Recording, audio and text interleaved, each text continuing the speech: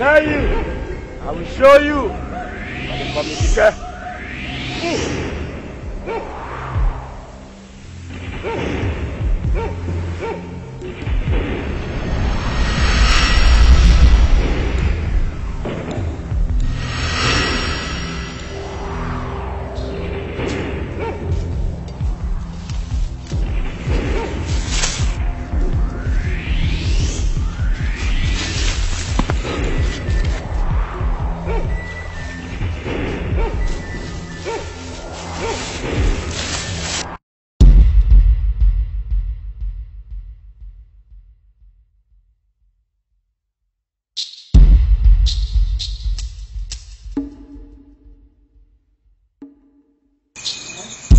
He has decided to disobey me as his father, he has decided to sacrifice his life for the people of others, which I want him not to.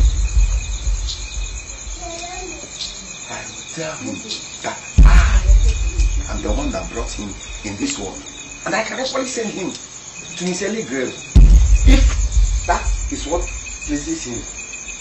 I'll do that.